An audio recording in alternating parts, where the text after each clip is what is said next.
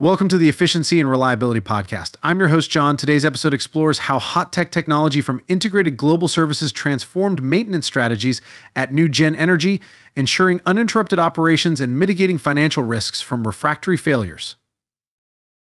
Let's start.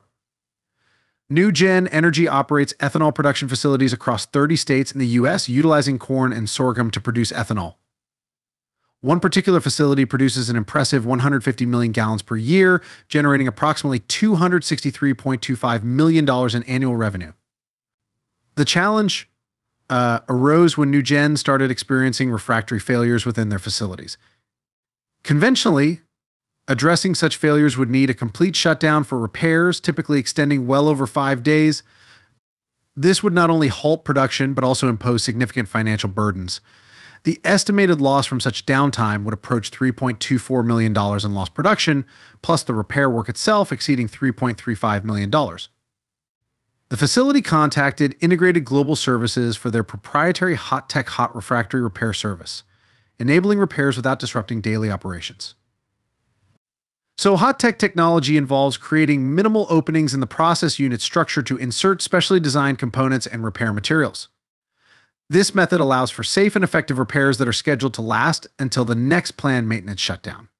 Since adopting the hot tech solution in 2017, Nugen Energy has overcome operational disruptions and significantly reduced financial risks associated with production downtime. IGS approach has proven to be safe, affordable, and dependable, making it the preferred method for managing and mitigating refractory failures at Nugen's facilities. In 2022 and 2023, the IGS team successfully performed these repairs within the stipulated timeframe. The facility was able to continue its operations at full capacity, averting any impact on its production capability. Uh, hotspots resulting from damaged refractory, heavily scaled process tubes, plug SCR catalyst banks, and fouled convection sections can all affect the performance, reliability, safe operation, and ultimately the operating capacity of the fired heater.